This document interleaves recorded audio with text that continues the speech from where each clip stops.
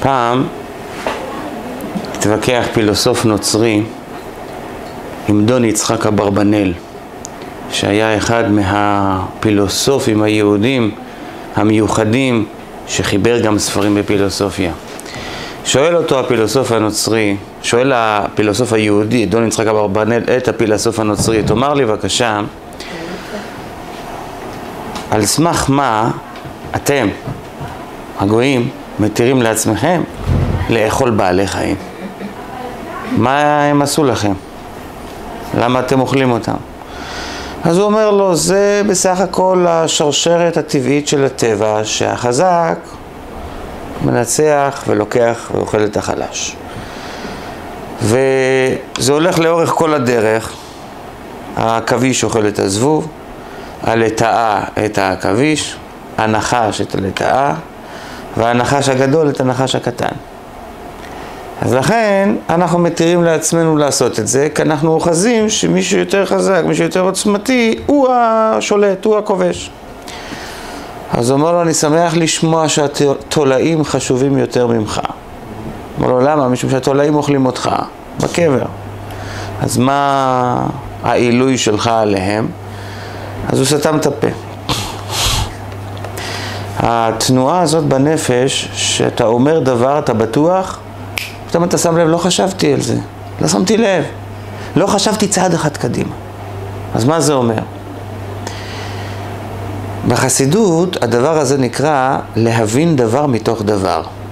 אני חושב שהמתנה הכי טובה של האדם זה היכולת שלו להבין דבר מתוך דבר. אנחנו הרי לא יכולים לדעת את הכל. מספיק שנדע דבר אחד, אם יש לנו שכל אנחנו נבין מהדבר האחד את ההשתלשלות הבאה. אתם יודעים איזה אושר זה? איזה שמחה זאת? מה קורה כשבן אדם לא מבין דבר מתוך דבר ואין לו מודעות למצב שבו הוא נמצא? היה לנו עוד פילוסוף גדול, חכם גדול, רבי סעדיה גאון, בראשי תיבות קוראים אותו הרס"ג.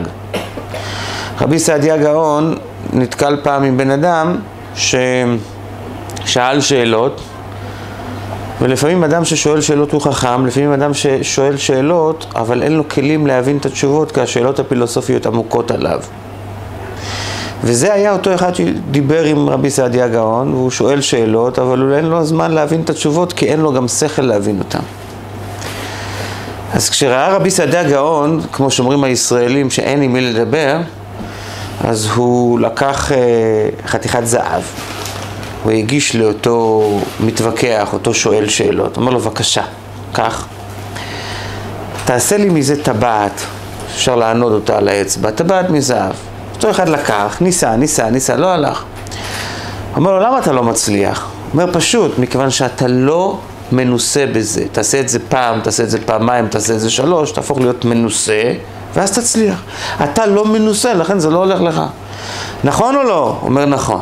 אז תקשיב טוב. זה שאתה לא מצליח להבין את התשובות הפילוסופיות שאני עונה לך, זה לא בגלל שאין לך שכל, יש לך שכל, אבל אתה לא מספיק מנוסה. אתה לא מספיק מנוסה, אם תהיה מנוסה ויותר משופשף, אתה תבין את הדברים על בוריים. מוריי ורבותיי, אני רוצה לומר שחלק בלתי נפרד מהבנת דבר מתוך דבר, זה להבין את המקום שלי, איפה אני עומד, וגם כן מהם השלבים שאני אצא מהמקום שלי למקום אחר. זה דבר בלתי נפרד מהעניין. א', להבין את עצמי, ואז להבין דבר מתוך דבר. אם את עצמך אתה מבין, אז אתה תבין מתוך עצמך דבר אחר, אבל אם את עצמך אתה לא מבין, אז איך תבין דבר אחר? כשאתה רואה בן אדם מתוסבך עם עצמו, איך הוא יסתדר עם אנשים אחרים? ולצערנו יש הרבה פעמים אנשים שעם עצמם לא מסתדרים והם רוצים לעזור לאנשים אחרים עם לב טוב, אבל אין להם את הכלים לזה, בדיוק כמו אותו אחד, שלא היה לו את הכלים להבין את התשובות הפילוסופיות. מה זה נקרא בן אדם שמבין טוב מאוד דבר מתוך דבר? הוא מגיע על סף רוח הקודש. אדם שמצליח להבין דבר מתוך דבר ברמות גבוהות, זה כמעט רוח הקודש. אחד מהגדולים שלנו, הרמב"ן, רבי משה בן נחמן, יש רבי משה בן מימון, זה הרמב"ם, הרמב"ן היה קצת אחריו.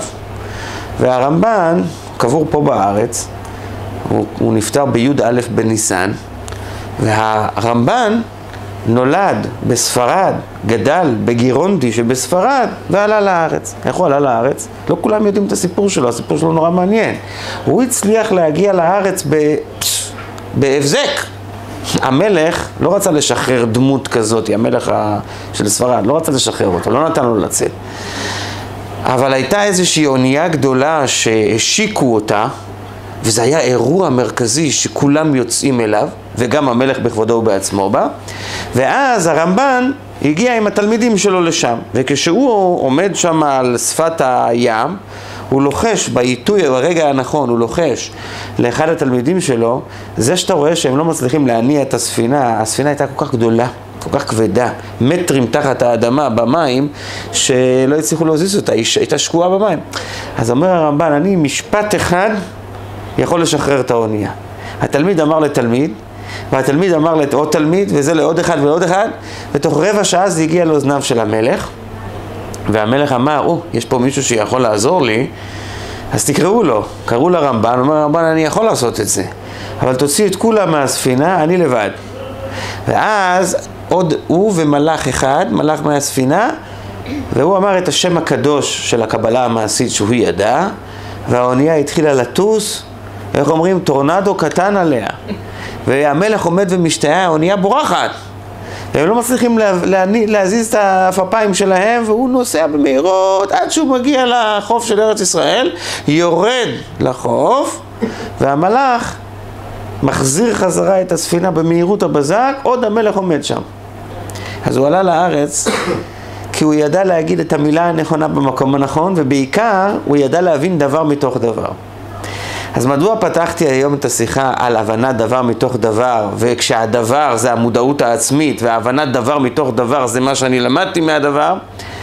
פתחתי בזה משום שאנחנו משוחחים היום חודש חשוון, יום האישה, והמעלה המיוחדת שחז"ל אמרו על האישה זה שיש לה בינה יתרה. בינה יתרה ניתנה באישה יותר מבאיש, כך אומרים חז"ל. והבינה היתרה בהגדרה הקבלית חסידית, בינה. מה זה בינה? בינה זה להבין דבר מתוך דבר. זה מודעות עצמית טובה, ואז כשיש לך מודעות עצמית אתה יכול להבין דבר מתוך דבר.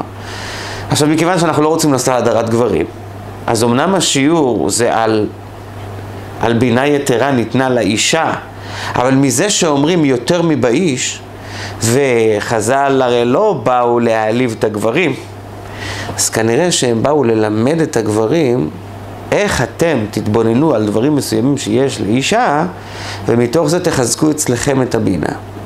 ומכיוון שאנחנו גם כן בדור כזה שגברים מנסות להידמות ל... שנשים מנסות להידמות לגברים בהרבה תחומים, אז הרבה פעמים הן מאבדות קצת את הבינה היתרה שלהן בגלל שהן רוצות להיות גבר, אז עד הסוף. אז כשם שלא אין, אז גם להם אין. אז אני מנסה להחזיר חזרה את כולם למצב של הבינה, שאנשים יחזרו לטבע הראשוני שלהם, ושהגברים ילמדו מהם, וזה הנושא של השיעור שלנו, איך אנחנו מחזקים את הנושא של הבינה, ההבנת דבר מתוך דבר, שזה הדבר הכי פנטסטי שיכול להיות לנו בחיים. אם אנחנו באמת, באמת, באמת, באמת עם מודעות, ואם אנחנו באמת, באמת עם הבנת דבר מתוך דבר, החיים שלנו הרבה יותר שמחים, הרבה יותר קלים. השאלה איך אנחנו עושים את זה. אז אני רוצה לומר בפתח הדברים שהבינה, הבינה, בתוך אה, סדר הספירות הקבלי שלה, היא שייכת לעולם הגבורות. אני לא אכנס לזה עכשיו, באמת לא זה הנושא של השיעור, לכן אל תיבהלו מהמילים, כי זה לא הנושא של השיעור. בדרך אגב, אני רק אומר את זה למטיבי לכת. יש אה, שלוש, שלושה קווים, קו שנקרא חכן, ראשי תיבות חוכמה, חסד נצח, וקו נוסף שנקרא בגה, ב', ג', זה אה, בינה וגבורה והוד, ויש קו אמצעי שנקרא דתי, שזה דעת ותפארת ויסוד. כל עשר הספירות מחולקות גם בצורות של שלושה קווים. הקו השמאלי זה הקו של הבינה. עכשיו, אני לא צריך יותר לעשות אתכם מקובלים כדי להבין ש, שכשמדברים על שמאל זה צמצום, זה קיבוץ. כן, זה, אני לא מדבר פוליטיקה, סליחה. אני מדבר רק על המהות הקבלית. התנועה של, של שמאל זה תנועה של קיבוץ. היא היד החלשה אצל האדם, אצל רוב בני האדם, אז לכן הסמל של קיבוץ ו, וחולשה זה שמאל. וה... והקו של, ה... של הספירת הבינה, שבינה יתרה ניתנה באישה יותר מבאיש, נמצא דווקא בשמאל. אז לכן אני רוצה לחלק את השיעור. בבינה יש לא רק שמאל, יש גם ימין. אבל אנחנו נתחיל קודם כל שמאל ימין, שמאל ימין. נתחיל קודם כל עם השמאל. למה? משום שבבינה השמאל נמצא לפני הימין. אז זה ככה הסדר של הדברים. אז אנחנו נתחיל חלק הראשון של השיעור, הצדדים הגבורתיים, הצדדים של השמאל שנמצאים בבינה, איך הם מפתחים את השכל, איך הם עושים שאנחנו נבין דבר מתוך דבר. ואני אומר מראש, השיעור הוא לא רק לנשים, הוא גם לגברים, כולם צריכים את זה. ואם אנחנו הצלחנו עם עצמנו, אנחנו צריכים גם כן עם זולתנו. לתת לאחרים גם כן את הכוח המיוחד הזה להבין דבר מתוך דבר, שזה משהו עוצמתי. אז ברשותכם, אנחנו נתחיל שלב אחרי שלב. באנו עכשיו מפרשת בראשית. כשהקדוש ברוך הוא ברא את האדם, כתוב, וייצר השם אלוקים את האדם עפר מן האדמה. אה, בעברית העתיקה, אדם שעושה כלי חרס, איך קוראים לו? יוצר.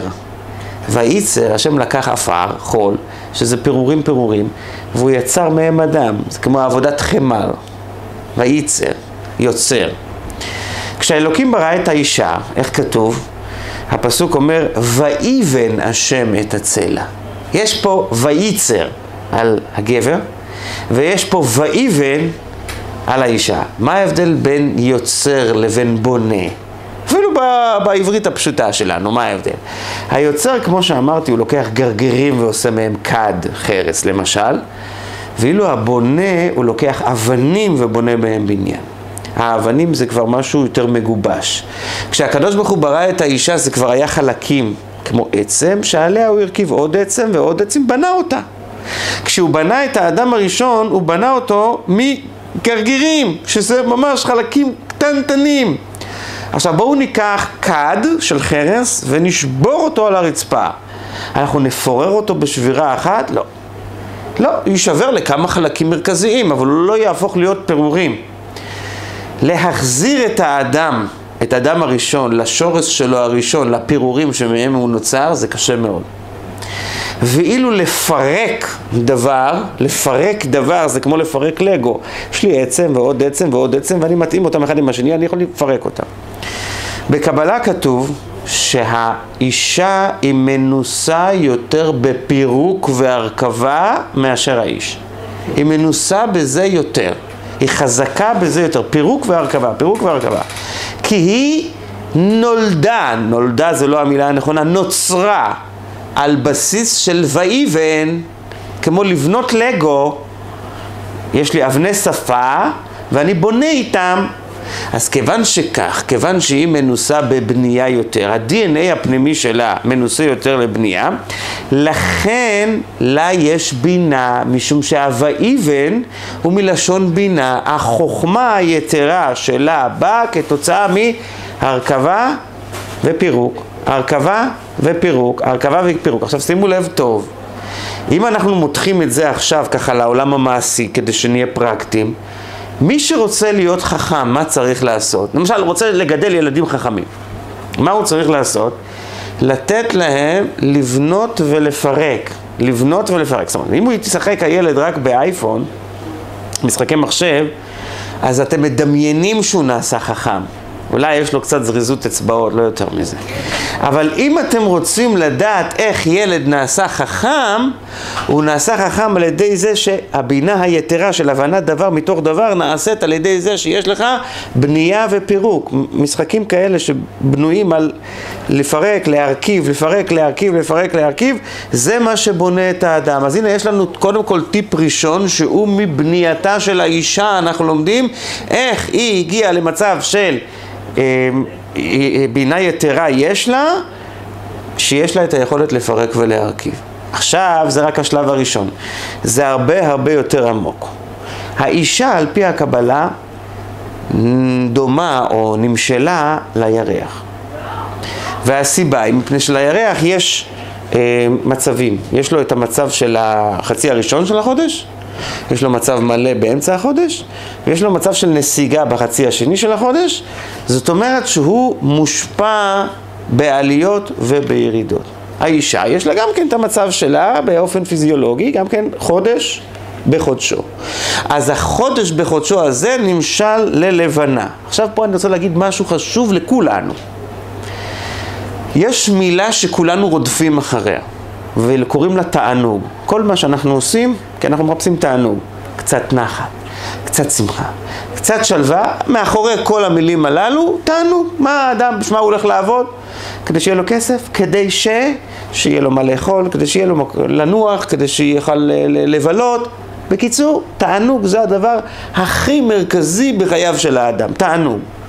באה החסידות ואומרת שכדי שבן אדם יהיה לו תענוג, אם לבן אדם יש ויש ויש ויש ויש, אין לו תענוג. למה האנשים העשירים שנולדו עם עשר כפיות של זהב בפה, החיים שלהם הם חיים, הם לא חיים, אה, הם אנשים אפורים, הם אנשים מדוכאים, אין להם שמחת חיים. סלחו לי שאני אומר את זה, תבדקו, אל תאמינו לי. לכו לשכונות עוני, תשמעו איפה צוחקים שם בטוב לב יותר. בשכונות העושר או בשכונות העוני. תבדקו, אל תאמינו לי. על פי הקבלה, היונה היא סמל של שלום, היא סמל של אהבה. היונים מסתכלים אחד על השני וזה מספיק להם, כן? היונה היא סמל של, של נאמנות, נאמנות מאוד, בן הזוג, בת הזוג, ואילו העורב, כל מה שאמרתי לכם הפוך. לא סמל של עקביות ולא סמל של נאמנות. הנה, יש לנו פרשת נוח, נוח לא יכול לסמוך עליו, מי שהציל את המצב זה היונה. אמת? זה יונה. לכו לשכונות, אני, אני מקווה שלא יתבעו אותי אחר כך בהוצאת דיבה. לכו לשכונות עוני, תראו רק יונים שם למעלה. לכו לשכונות עושר, תראו רק עורבים שם למעלה. זה ככה עובד. לכו לכותל המערבי, תראו יונים. לכו לבית המשפט, תראו מה יש, אל תאמינו לי. לכנסת, תראו מה יש, אל תאמינו לי, תבדקו את זה. תבדקו, אל תאמינו לי. איפה שיש, לכו לבתי רפואה, בתי כנסת, יונים מעליהם. איפה שיש כאב, איפה שיש ביטול, איפה שיש הכנעה, שם הם נמצאים. זה תנועת נפש, התנועה של השלום, התנועה של האהבה. אז אני רוצה לומר, אדם שאין לו בחיים שלו הלם, אין לו תענוג. תקשיבו טוב, תרשמו לפניכם. אדם שהכל רק הולך לו טוב, אין לו שמחת חיים. אדם שהכל זורם לו, רק זורם, שום דבר לא נעצר, הוא לא צריך להתפלל לשום דבר, הוא לא צריך לשאת את עיניו למרום על כלום, אין לו שום קושי, אין לו שום כאב. אדם שלא מגיע לשום דבר בחיים שלו. לכן, כשאנחנו מדברים על המצרך הכי יקר, שזה תענוג, שכולנו מחפשים תענוג, אנחנו צריכים להבין שהוא נמצא אצל האישה באופן טבעי יותר מאשר האיש, ולכן היא נמשלה ללבנה. חסידות אומרת את זה, קבלה אומרת את זה במפורש, עולם התענוג נמצא אצל האישה יותר מאשר אצל האיש. ולמה? מכיוון שיש לה עלייה, יש ירידה, יש לבנה, יש חצי חודש, יש חצי חודש, זה באופן טבעי. אז יש בחינה מסוימת של קושי, של כאב, של הלם, אז הבחינה הזאת מביאה את העונג חזק יותר. אם הבנתם אותי עד עכשיו, אני מבין שזה אחרי יום עבודה, אבל בכל אופן, תחזיקו איתי ראש, אז מה יצא בסוף? כשבן אדם רוצה להתעמק במשהו, אדם רוצה לחדש משהו, אדם רוצה ליצור, יצירתיות בונה. המצרך הכי חשוב בשביל שזה יהיה לו זה העונג, זה התענוג. לכן אצל האישה יש בינה יתרה, ואני חוזר על המסלול שוב, משום שכדי להגיע לבינה אתה צריך תענוג, להתענג במה שאתה עושה כדי לחדש משהו. וכדי שיהיה לך תענוג אתה צריך שיהיה לך העלם.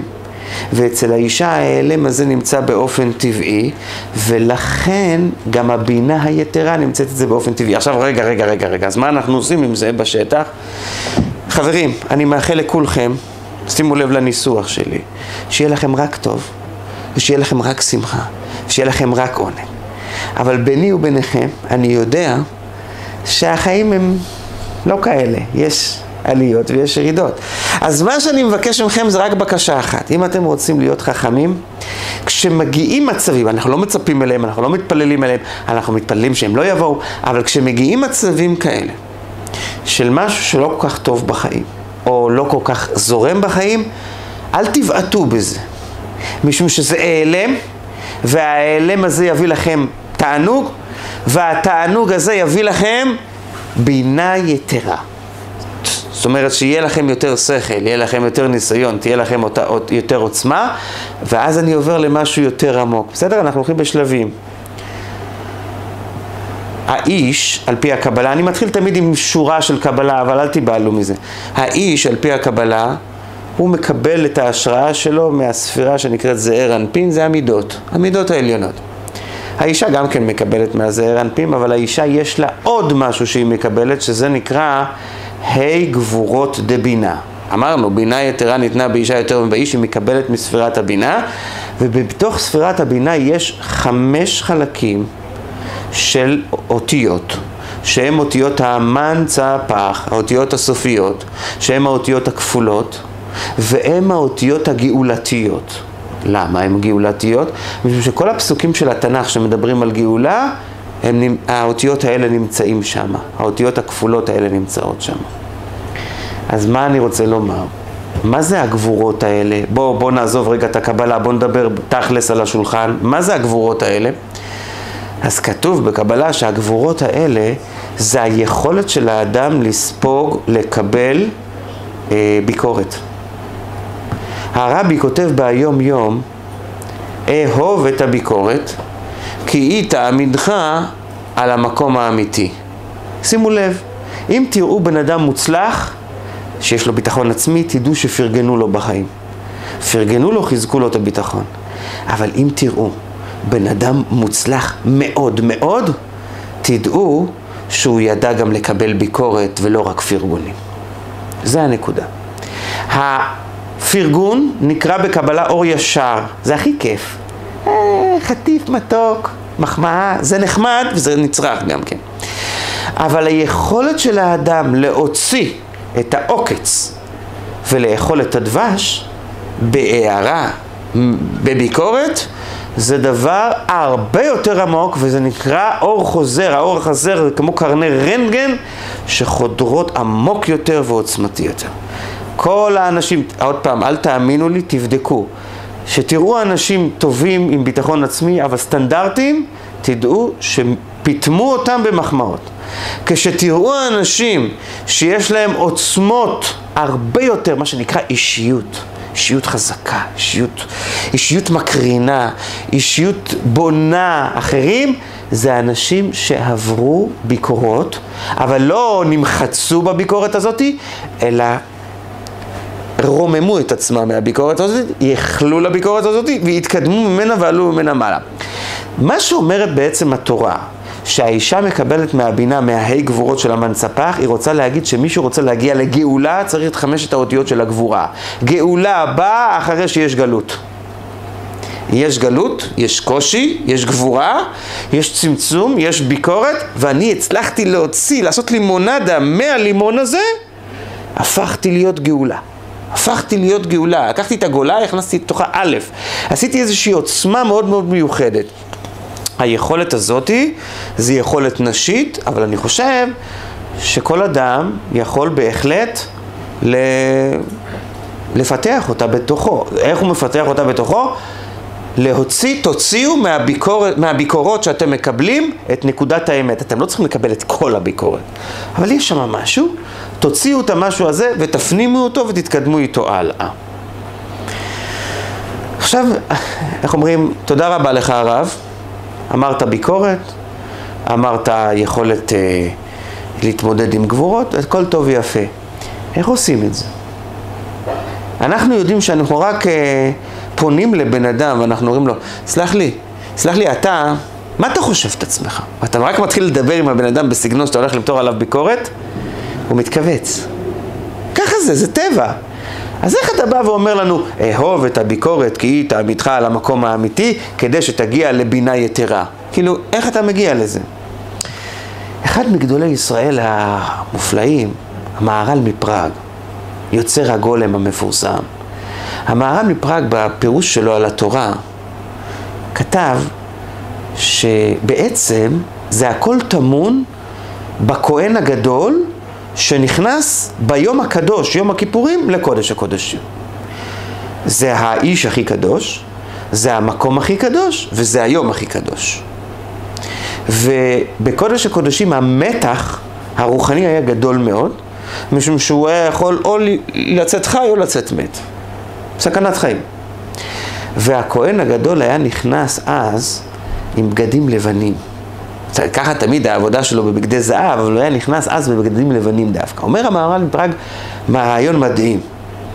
הוא אומר, כדי לצלוח מצב של גבורה, מה זה מצב של גבורה? מצב של מתח גבוה, כמו כהן גדול ביום כיפורים בקודש הקודשים, שמדובר פה על... אה, אתה רועד מפחד. איך אתה שורד את זה? איך אתה צולח את זה? אתה לובש בגדי לבן. מה פירוש? ברובד הרעיוני, תלבשו לבן, אני לא יודע אם זה יפתור את הבעיה, אני רוצה לדבר, מה, מה הבגד הלבן אמור לתת לי? אז הוא אומר דבר מדהים, הוא אומר, כל בגד, הצבע שלו זה תוספת עליו. צבעת אותו בתכלת, התכלת זה על הבגד. אם תשים חומר, אפשר להוריד גם את הצבע. אה, בגד לבן, ככל שתשטוף אותו יותר, הוא יחזור יותר להיות לבן. כי הלבן זה הצבע הכי יסודי שלו, הכי טבעי שלו. אוקיי, מה זה בנפש בגד לבן? על, סמה, על רקע מה לובשים את הבגד לבן? להידמות, חוץ מכבודכם, למתים.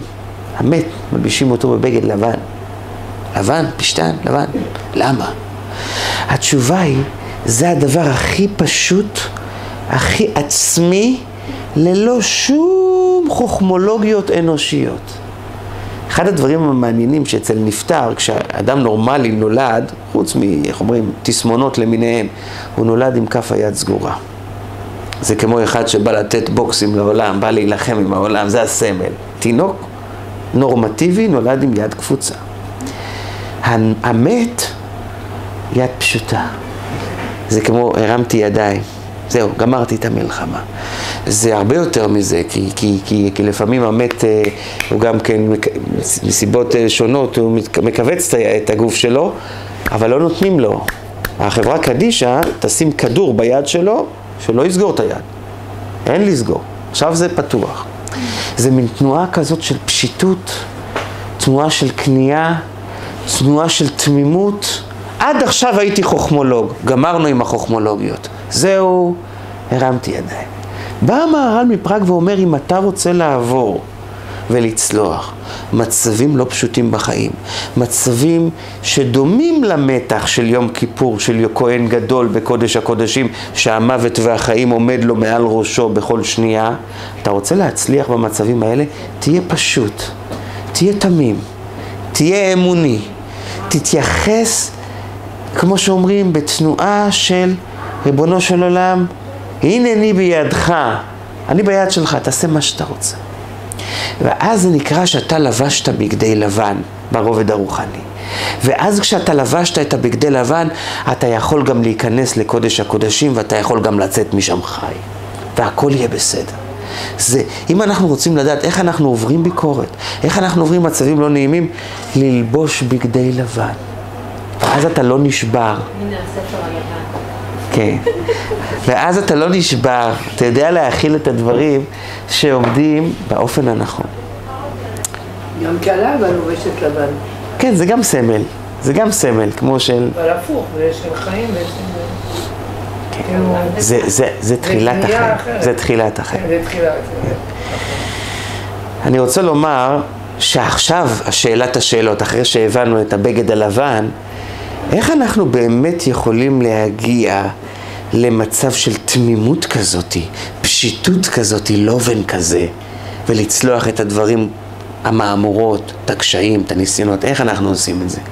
אז יש לי מילת מפתח נוספת. אמרתי לבן, יש לי מילת תמימות, יש לי עוד מילת מפתח. מילת המפתח הנוספת זה יראת שמיים. יראה. יראה. אני תמיד אוהב לספר שלפני שנים מסרתי פה, במקום הקדוש הזה, שיעור, ואז עזרת נשים הייתה שם, עזרת גברים הייתה כאן. וישבה שמה על הכורסה ההיא בחורה אחת, ואני בשיעור דיברתי על אהבה. ואז היא אומרת לי, הרב, האהבה זה כזה דבר גדול, כזה דבר עוצמתי. מדוע צריך יראה? ביהדות הרי מדברים על יראת שמיים. בשביל מה צריך יראה? מספיק אהבה, עם אהבת השם אי אפשר לעבוד את השם כמו שצריך. ואני באמת הרגשתי שאני בתל אביב, משום שזו שאלה תל אביבית. למה לא מספיק אהבה? למה צריך יראה? יראה זה ירושלים. תל אביב זה אהבה. אז מה, מה, למה צריך את זה? ואני רוצה לומר לכם משהו זוגי שהוא לגמרי נכון. אהבה זה, זה חום, ועם חום אתה לא יכול לחיות כל הזמן. זה נעים לרגע, לשני רגעים, לשעה, ואחר כך די, אני רוצה לנשום אוויר. רוצה לצאת, לנשום אוויר, קצת משב רוח נעים, קריר על הפנים. האהבה היא טובה, אבל היא חייבת גם הפוגה. זה טבעה של אהבה. כשאתם רואים אדם שעושה דברים מאהבה, זה יפה מאוד, אבל אי אפשר להאריך ימים רק באהבה. אתם רוצים להיות כנים עם עצמכם? למה אנחנו קמים בבוקר? סתם, נשאל את עצמנו שאלה אמיתית, למה אנחנו קמים בבוקר? תשמע, צריך לצאת לעבודה. נו, ו... ואם לא תצאו לעבודה, תשנו הלאה. לא תצאו לעבודה. תראה, אז יסלקו אותנו מעבודה, לא נגיע בזמן. אז, אז אתם מפחדים. אז אתם באים לעבודה כי אתם מפחדים. אם נשים לב, נהיה כנים עם עצמנו, הרבה מאוד מהצעדים שאנחנו עושים ביום-יום נובעים מיראה. למה אנחנו נוהגים טוב בכביש? לא מיראה, ממש מאהבה. מיראה, שלא יהיה לי תאונה. כל הדיוק האישי שלנו ביום-יום, למה אנחנו אוכלים ככה רק מה שמתאים לנו, מה שלא אלה שאוכלים רק מה שמתאים להם? למה? כי הם יראים, ממה? מהבריאות הלא תקינה, מהשומן שהתווסף להם, מהמראה החיצוני, מכל מיני דברים, אבל, אבל זה מיראה, לא מאהבה. אתה, אתה לא תראה בן אדם שעושה דיאטה מאהבה. דיאטה עושים מיראה. אבל זה מביא בריאות. זאת אומרת, באיזשהו מקום החיים שלנו היומיומיים מתנהלים גם כן מהיראה. עכשיו, אני מודע לזה שיש יראה שהיא יראה משתקת, אני מודע לזה, והיא לא יראה בריאה, היא לא בונה את האדם. אבל הרבה מאוד מהיראות הן יראות בונות. אין שום אדם שהגיע להישגים בלי שיהיה לו פחד מהמבחן, או פחד מכישלון, או משהו, צריך משהו כדי שתתקדם איתו הלאה. כדי שבן אדם יגיע לתמימות, הוא חייב שיהיה לו יראת שמיים. מה זה יראת שמיים? הקדוש ברוך הוא כל יכול, הוא כזה גדול, הוא כזה נעלה, הוא יכול לעשות כל כך הרבה דברים. מי אני לעומתו? זה מין תנועת אפסיות מסוימת. זה תנועת קיבוץ, וכל קיבוץ זה יראה. כל קיבוץ זה הקטנה, אבל זה הקטנה בונה. זה הקטנה שמביאה אותך באיזשהו מקום, היא מקדמת אותך לאיזשהו מקום. אז לכן מי שרוצה להגיע לתמימות, כדי שהוא יוכל לעבור את המהמורות של הביקורות והדינים השונים שעוברים עליו בחיים, הוא חייב להיות בתנועה של יראה מסוימת, יראת שמיים מסוימת, ואז הוא יכול לעלות ולעלות ולעלות ולעלות ולהגיע ל- ל- לרמות גבוהות מאוד. בעצם מה שאני מדבר איתכם עד עכשיו, זה שכדי להגיע לשכל כמו שצריך, אנחנו, או בינה יתרה, אנחנו צריכים לדעת להתאפק. אנחנו צריכים לדעת גם להגיד לא. כמה מצוות יש לנו ב... בתורה, מתוך תרי"ג המצוות שהן כן, וכמה מצוות יש לנו שהן לא. יש לנו 200, 248 כן, ו-365 לא. אז יש יותר לא מאשר כן. עכשיו אני אגיד לכם בסוד, לכל לא יש עוד תרי"ג. לואים, פיצ'יפקס, הוספות. וזה בלי סוף. ועוד פעם התל אביבי עומד ושואל, בשביל מה הלא הזה? שיהיה רק כן. שיהיה רק חיובי. שיהיה רק... אה, למה לא? אנחנו... הרי זה המודל של היום. תגיד כן, כן, כן. מוריי ורבותיי, אין אפשרות להגיע להישגים בחיים ללא לא. בואו נתחיל מה, מהרובד הכי פשוט.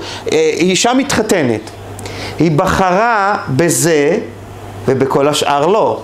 תסכימו איתי שאם זה לא ככה, בין אצל האיש, בין אצל האישה, אז חבל לכם על הזמן, זה לא נישואים. כשהאדם יודע להגיד על זה כן הוא יודע להגיד על כל השאר לא. כשאתם הלכתם לבחור אפילו ספה לבית, אז אתם בחרתם את זה כן ואת כל השאר לא. כשאתם בחרתם ללמוד משהו מסוים, אז בחרתם זה מתאים לי וכל השאר לא. אז על מה אמרתם יותר לא? על מה אמרתם יותר? על דברים של כן או על דברים של לא? תרצו או לא תרצו, אמרתם יותר לא מאשר כן. אז למה אנשים כל כך נרתעים מהמילה לא? הבן אדם שמסוגל להגיד הרבה לא, זה בן אדם שיודע לבחור את הכן הנכון, זה בן אדם שיודע להתקדם ולכוון את עצמו לאפיק הכי נכון שלו. מה שאין כן בן אדם שהולך אחרי תאוות ליבו, אז מה הוא אומר? כ... כ... כ... כן. אומר התנ"ך, מה קורה בסוף מהרבה כנים? היה אמנון ותמר, אתם מכירים את הסיפור? יש לזה אפילו שיר. אז אמנון ותמר, היה ביניהם כן, כן, כן, לא כל כך טוב. ובסוף הפסוק אומר על אמנון, מדוע אתה דל? אמנון הפך להיות רזה מרוב חולי. מכל המעשה הזה של תמר, מכל מה שהיה סביבו. כי, כי כשאתה אומר המון המון כן, אתה נחלש. מיהו האדם המוצלח? האדם שיודע להגיד, את האוכל הזה אני אוכל ואת כל השאר לא. האדם המוצלח שיודע, את העסק הזה אני אעסוק ובכל השאר זה. האדם שיודע להגיד, זו אשתי וכל השאר לא. זה בעלי וכל השאר לא. זה, זה העניין. זה כל העניין, על דעת להגיד לא. אז לכן המילה לא זה מילה שהיא מאוד מאוד מאוד בונה. ולכן כל פעם שבא לנו סבל או בא לנו קיבוץ, אתם יודעים מה אתם צריכים להגיד לעצמכם? או, אז הסבל הזה בסך הכל מדייק אותי למה כן. יש לנו uh, את השופר, השופר מביא לנו שנה טובה. מוחל לנו על כל העוונות. אז בפסוק כתוב תקעו. יש עוד מקום שהמילה תקעו מופיעה בתורה, אבל היא מופיעה בחילוף אותיות. ותיקע כף רגל יעקב. המלאך נתן לו מכה והרגל שלו נקעה. בקבלה כתוב שהתיקעו של ראש השנה וה... והוותיקה של יעקב זה אותה בחינה. כשליעקב הוא חטף את המכה שלו ב... בכף רגלו, בכף יריחו, בכף יריחו, אז באותו זמן נפתח לו חלון של הצלחה אחר. כל אדם שחוטף איזשהו קיבוץ, איזה קיבוץ שלא יהיה בחיים שלו, הקיבוץ הזה פותח לו חלון, פותח לו עלייה. איפה זה כתוב? בוא עוד רמז, בינה. קבלה כתוב בינה זה בן, בן זה כאילו הולדה, נולד לי בן, בסימן טוב בן בא לנו, אוקיי? זה בן. מה, איזה אותיות נשארו בבינה? י' ה'. הי' וה-A זה ספירות המיקוד. ספירות המיקוד, ה-A זה סמל של הרחבה, ה-Y זה נקודה, ומשלבים אותם ביחד, שתמיד תזכרו שבכל מקום שאתם מתפרסים, אל תשכחו את הנקודה.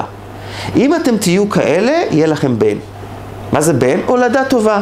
יהיה איזשהו דבר חיובי שאתם תבנו בחיים שלכם.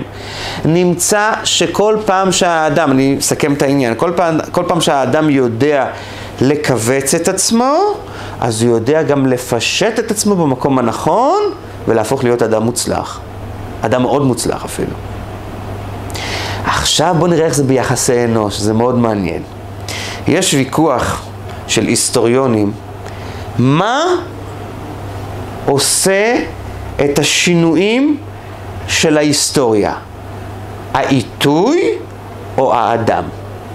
אנחנו יודעים שיש אנשים שהם בעלי אישיות מאוד גדולים, והם עשו היסטוריה. ויש מצבים מסוימים, עיתוי שעשה היסטוריה. מה באמת עושה את ההיסטוריה? האדם או העיתוי? זה מחלוקת היסטוריונים. ולעניות דעתי, ואני מקווה שתסכימו איתי, שני הדברים נכונים. זה שילוב של אדם ברגע, ברגע נכון. האדם הנכון, כמו שאומרים, ברגע הנכון. השילוב של שני הדברים האלה ביחד, הוא יוצר היסטוריה. אי אפשר שהאדם יעשה את זה לבד, אי אפשר שאם אין לו את הרגע זה לא יעבוד.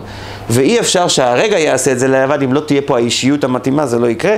השילוב של שני הדברים האלה ביחד. אז עכשיו אנחנו נחזור לעצמנו. אנחנו כל הזמן עושים היסטוריה. כל אדם עושה היסטוריה, את ההיסטוריה שלו, את ההיסטוריה של סביבתו. מה זה היסטוריה? האדם הנכון ולשים את האצבע על הרגע הנכון. אבל תזכרו טוב, בכל פעם שאתם שמים את האצבע על הרגע הנכון, שמתם עשר אצבעות על רגעים לא נכונים. ידעתם להגיד את הכן, וידעתם להגיד את הלא, ושני הדברים האלה הם מאוד מאוד משמעותיים כדי שאתם תתקדמו בחיים, כדי שאתם... עכשיו תראו עוד יותר. יש לכם אנשים שאתם מכירים אותם, והם אומרים לכם, למשל, דיברתי על ביקורת, אז בואו נראה ממה צריך להיזהר למשל בביקורת. אני מכיר בן אדם שדיבר שלוש שפות, מדבר שלוש שפות ברמה של שפת אם, ואף על פי כן האנשים, איך אומרים, הידידים שלו במרכאות, לעגו לו שהוא לא יודע שפה רביעית. הם גם את השלושה לא ידעו, אבל הם לעגו לו על הרביעית שהוא לא יודע. אני מכיר בן אדם שהוא מומחה בדקדוק, ולועגים לו על המומחיות שלו בדקדוק. שימו לב, יש לפעמים שיש לך משהו, והאנשים לועגים לך. מה אתה צריך לדעת לשים? זה לא. זה לא. ולפעמים אתה צריך לדעת להגיד, זה כן. ולפעמים אתה צריך לחלק בתוך דבר מסוים, זה כן בתוך הדבר, וזה לא בתוך הדבר. זה משהו שהוא נורא נורא דורש ממך להיות במודעות מלאה למצב שלך, ובמודעות מלאה לסביבה שלך. זה מתחיל מהמודעות שלך במצב שלך. ניתן דוגמה מעם ישראל ולהבדיל מהכושים בארצות הברית, האפרו-האפריקאים. משה רבינו, כשהוא מוציא את עם ישראל ממצרים, מוציא אותם, מביא אותם להר סיני, אז הפסוק אומר, ויוצא משה את העם. מה זה ויוצא משה את העם? תופס אותם, מוציא אותם. אומרים למה? הם היו כאלה, איך אומרים, בתוך המצרים, בתוך ראש של עבדים, הם לא רצו לצאת. אז הוא מוציא אותם בכוח. מה זה קשור לכושים בארצות הברית, שהיו עבדים ושחררו אותם? המשחררת העבדים הגדולה אמרה, אני הצלתי עשרות אלפי עבדים. הייתי יכולה להציל עוד עשרות אלפים אם הם היו מודעים לכך שהם עבדים. חלק בלתי נפרד מהגאולה של האדם זה שהוא יהיה במודעות עצמית למה שקורה לו. אבל אם אין לך מודעות למה שקורה לך, קשה מאוד להוציא אותך. אתה צריך להיות במודעות מה שקורה, ואתה צריך לדעת לחלק מה כן ומה לא. ואתה צריך לדעת, לדעת לרדת לפרטים הדקים של העניין. אני מביא דוגמה מהימים הנוראים, הרבה הזכרתי את הימים הנוראים בגלל שאנחנו באים מהם, אבל אחת הדוגמאות של הימים הנוראים זה התקיעת שופר שהיא מחולקת לתקיעה, שברים ותרועה. בתרועה אנחנו עושים קולות קטנים, טו טו טו טו טו, קצרים. אמר לי פעם מומחה לתקיעות, תעשה הרבה. אמרתי לו, למה צריך לעשות הרבה? מספיק שאני אעשה תשע. הוא אומר, אבל האנשים לא מצליחים לזהות שעשית תשע כל כך מהר, אז הם לא מצליחים לזהות, הם חושבים שעשית פחות. אז תעשה יותר כדי שהם לא יחששו שעשית פחות. לקחתי, לקחתי את, ה, את השופר, תקעתי במהירות, שנייה וחצי, והקלטתי את זה, ואחר כך עשיתי את ההקלטה לאט וספרתי את הקולות. אמרתי, 12 קולות הצלחתי לעשות בשנייה וחצי שתיים. 12 קולות, אבל האנשים אומרים לי, לא, מה עשית שם? רק שלוש. קשה לאנשים לרדת לדקויות, לפרטים קטנים, קשה לדעת, לרדת לפרטים, אבל, אבל התורה דורשת מאיתנו שמי שרוצה להגיע למודעות, הוא יצטרך לרדת לדקויות מאוד. מה זה נקרא לרדת לדקויות? ניקח למשל, יש טיפה. הטיפה שממנה נוצר הוולד. בעצם ברחם יש, יש את ההחלטה ש, שהיא מצד המוח, אבל זו ההחלטה היא איזה חלק מהטיפה היא לקח להיות מוח ואיזה חלק מהטיפה היא לקח להיות ציפורניים. אתם מסכימים איתי שזה לא אותו רמה של אה, איכות. היכולת הזאת לשים אצבע, מה יותר טוב, מה יותר מובחר ומה פחות מובחר, אה, מה יותר עדין, מה יותר גס, היכולת הזאת היא יכולת נשית. ככל שהאדם מרגיל את עצמו לשים את האצבע, מה היה נקודת הלוז בשיעור? אז יבוא בן אדם ויגיד נקודת הלוז בשיעור זה היה אי מאותיות מנצפח שלא הבנתי שם מה הרב אמר. זה לא נכון, זה לא היה העיקר של השיעור. המסר מזה היה העיקר, זה הוזכר בדרך אגב. האדם חייב ללמוד לדעת מה זה עיקר, מה זה טפל. טפל. סיפרתי פעם סיפור לילדים, ילדים קטנים, כולם שמעו את אותו סיפור, גילאים של 4, 5, 6, 7. בסוף, בסוף הסיפור אני שואל אותם, מה השם של הסיפור? אני נהניתי מהתגובה של הילד בן ארבע, כי זה הביא לי אפשרות לתת אה, המחשה. תוך הסיפור סיפרתי שאותו אדם זר שנכנס שם, הוא היה בתוך העלילה, הוא נכנס עם מזוודה כחולה ועל המזוודה היה מנעול מוזהב. הילד בן הארבע, הוא נדלק על המנעול המוזהב, והוא אמר לי שהכותרת של הסיפור זה המנעול המוזהב. אני נהניתי משום שהרבה פעמים גם אנחנו ילדים. אנחנו שמים כותרות לא נכונות על מצבים שונים שבחיים וגם על אנשים. המומחיות הנשית זה מומחיות הרחם. מה זה מומחיות הרחם? קח טיפה, קח מילה ותחלק מה מתאים לזה, מה מתאים לזה, מה מתאים לזה, מה מתאים לזה, מה מתאים לזה. זה לא הכל אותו דבר. אל תעשה את כולם אותו דבר. אם אתה, אם אתה מרגיש שאתה נמצא בתנונה של הכללות, אז אתה כבר בבעיה. בינה אין לך, בטח לא יתרה. ברגע שאתה יודע לרדת לפרטים ולעוד פרטים ולעוד פרטים, מי שמתאמן בזה יותר ויותר, לא, זה ככה, זה ככה, זה ככה, זה ככה, זה ככה, הבינה שלו הולכת ומתפתחת ביתר שאת, ביתר עוז, הירידה לדקויות. עכשיו בואו אני אספר לכם סוד.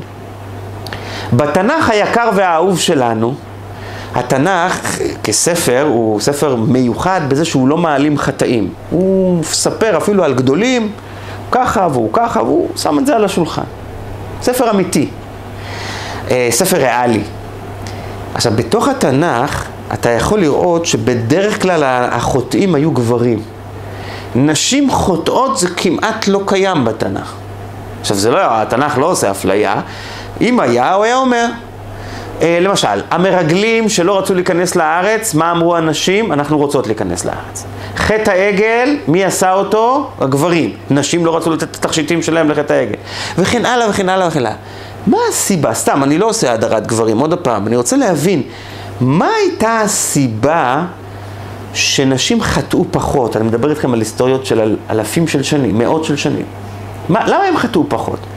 לדעתי, לדעתי הסיבה הייתה מפני שהם היו בריתמוס הטבעי הזה של הכן והלא כל הזמן. מה, לבחור מה נכון, מה לא נכון, מה כן נכון, מה לא נכון, מה, כן, מה יותר טוב, מה פחות טוב, מה כן נכון, לא.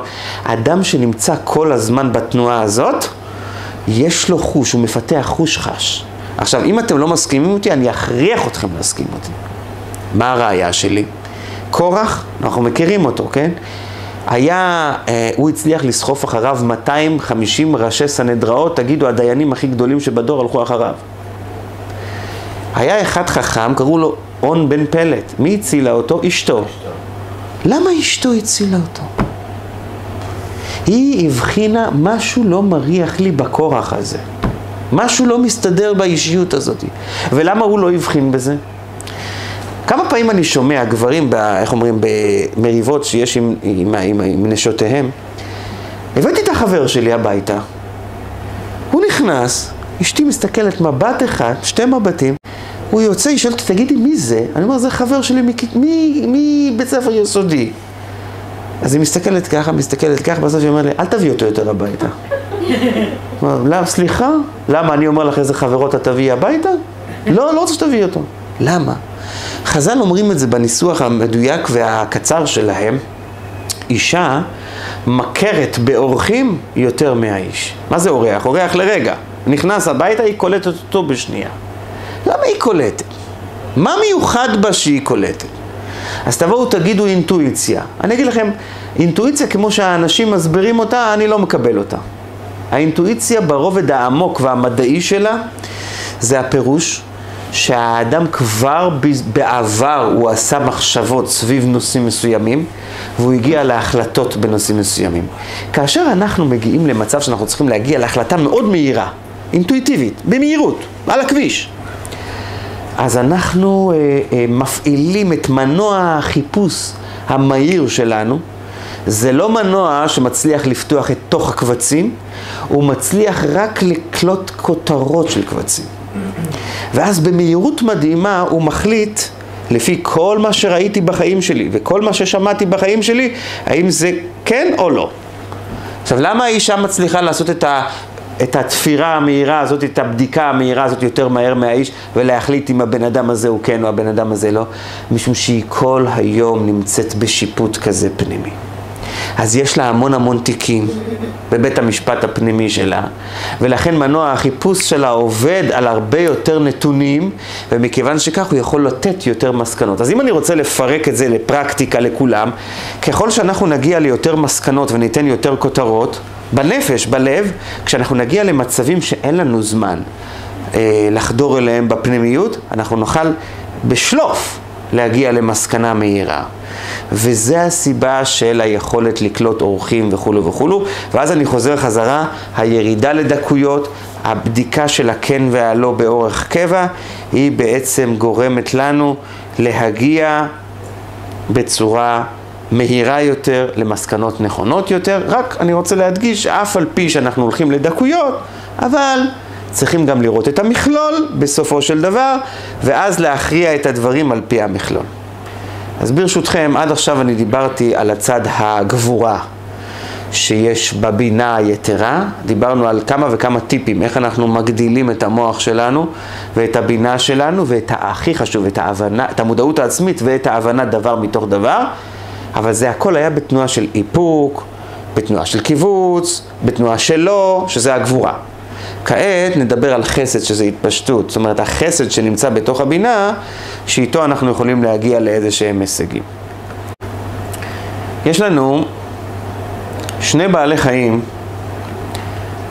שהם שניהם מלכים.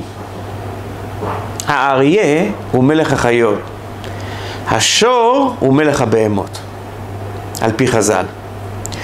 ועכשיו, כשאנחנו מדברים על האריה ועל השור, יש ביניהם הבדל. האריה הוא מאוד מהיר כשהוא רוצה. זאת אומרת, ככה סתם אתם תראו אותו בצהריים יושן, אבל רק כשתעבור שם ארנבת תראו מה יקרה. אבל השור הוא הרבה יותר איטי. התנועות שלו כבדות יותר.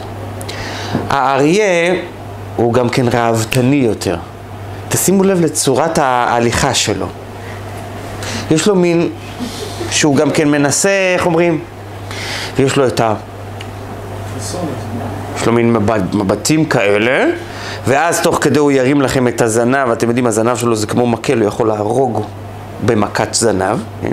יש לו את הזנב, הוא מרים אותו ככה, איך אומרים? הוא בסרט, הוא מרגיש מצולם כל הזמן, זה אריה. לעומת זאת, השור הולך. עכשיו, למי יש יותר כוח? אני אומר שוב, מה שכתוב בתורה. בתורה כתוב שלשור יש יותר כוח מהאריה. ואף על פי כן האריה מצליח אה, לעשות את עצמו מלך על כל החיות יותר. אמר פעם הרבי הרש"ב, אתם יודעים למה? אומר, בואו נלמד מזה משהו לבני אדם. יש אנשים שהם מצטנעים ומצטנעים ומצטנעים ומצטנעים, ולכאורה הצניעות זה הדבר הכי יפה. אבל אני אשאל אתכם שאלה. תארו לעצמכם שאתם רוצים ללמוד משהו, אתם חושבים, אוי, אנחנו נגיד את זה בשולחן שבת. נגיד את זה בשולחן שבת למשפחה. אז אתם לא תלמדו את זה יותר טוב? תלמדו את זה יותר טוב. ואם אתם תרצו להגיד את זה באיזו התוועדות ככה שיושבים ביחד כמה, אתם תלמדו את זה עוד יותר טוב. מתברר שככל שתחצינו יותר החוצה, אתם תהפכו להיות יותר חכמים ויותר מדויקים.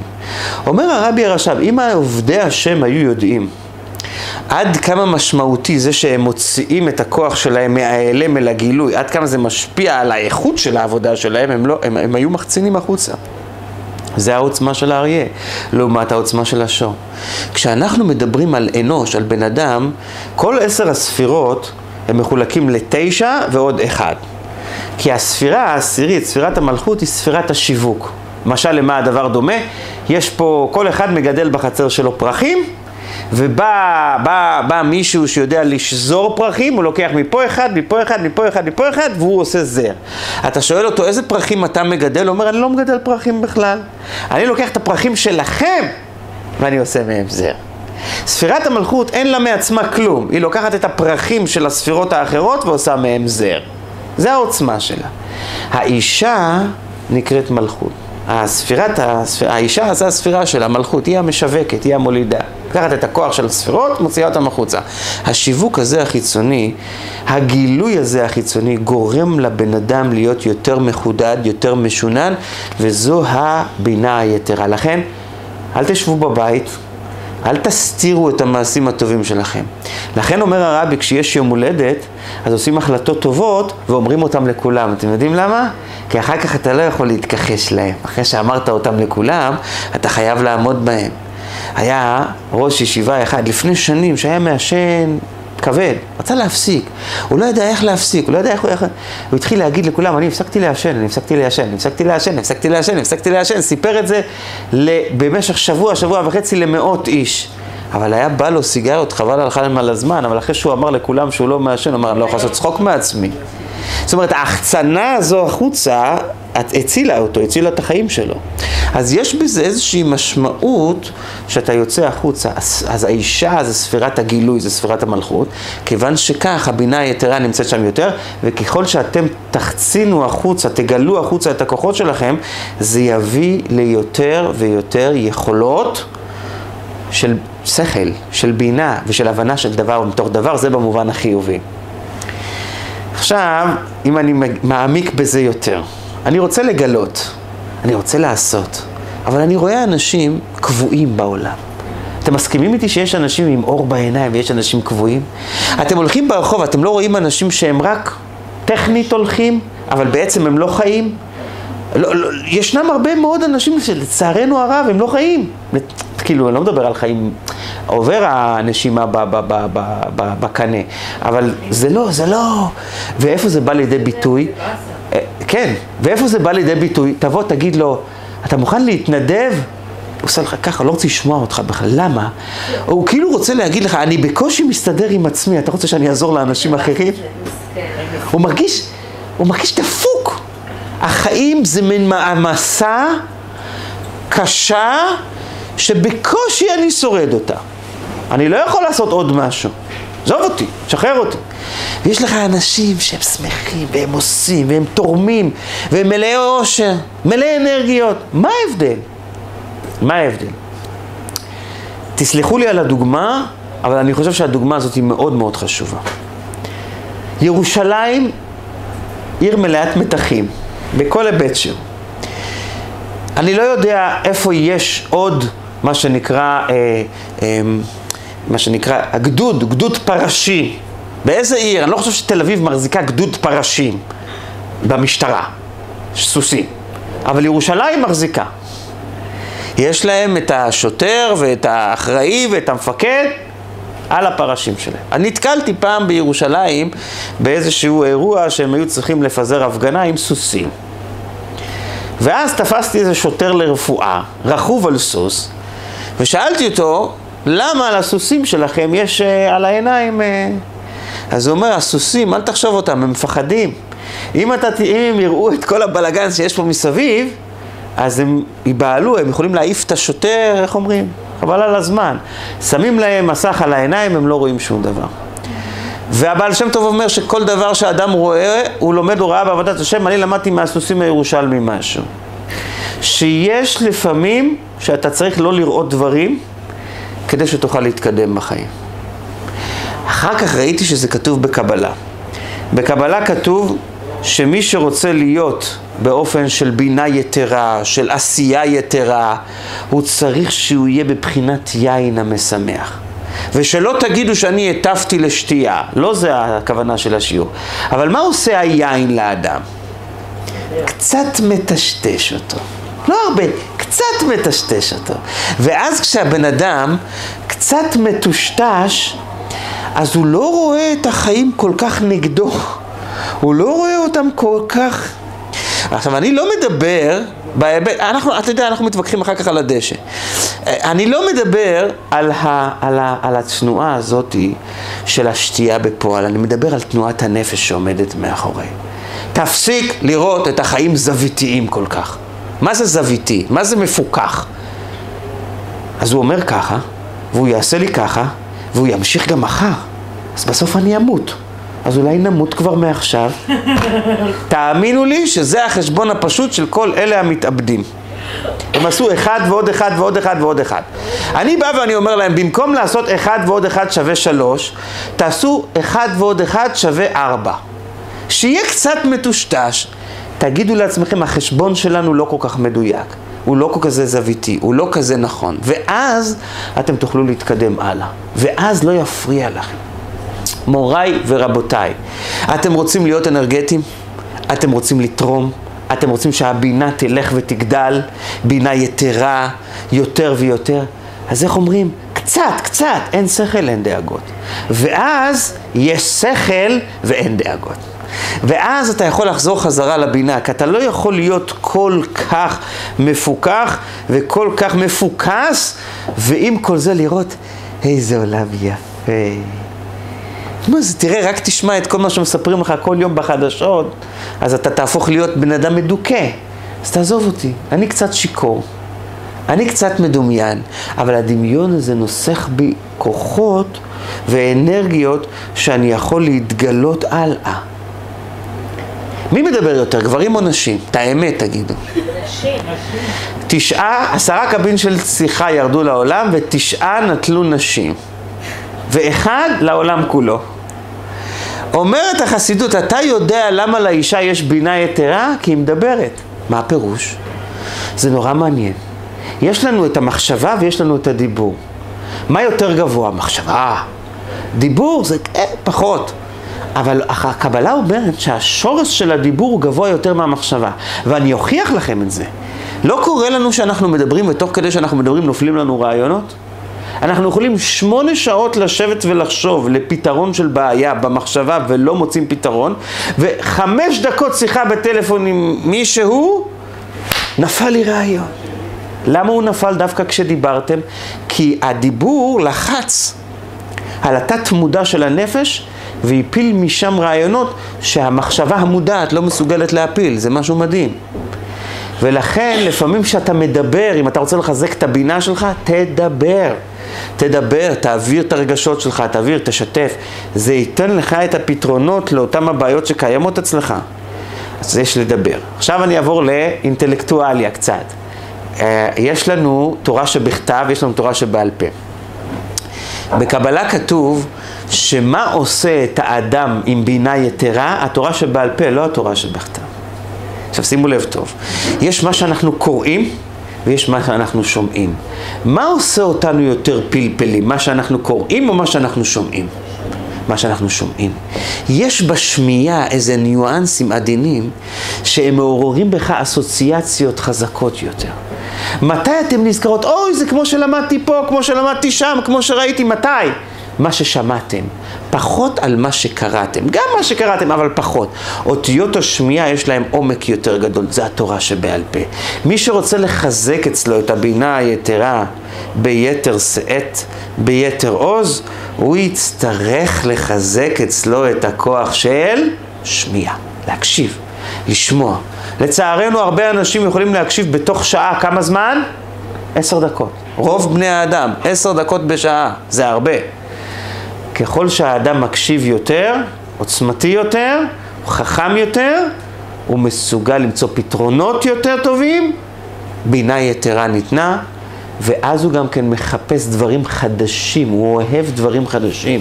כל דבר חדש שאתם לומדים, כל מילה חדשה שאתם לומדים, נוסח בכם אנרגיות. כשאתם שומעים בדיחה ישנה, יכול להיות שנהניתם, אבל אנרגיות אין שם. אנרגיות תמיד נמצאות במים חדשים. בעוצמה חדשה, ברעיון חדש. לכן זה מאוד מאוד חשוב שהבן אדם גם ישמע, והוא גם ישמע דבר חדש. וכאן אני מגיע לקראת הסוף. לפני עידן ה-Waze, בעל ואישה נוסעים לחתונה, והאישה מרגישה שהוא מסתובב, מסתובב, מסתובב, מסתובב. אה, למה אתה לא מגיע? אני מתלבט איפה בדיוק העולם הזה נמצא. אז בוא נעצור, מישהו נשאל. לא, לא, לא, אני אמצא את זה.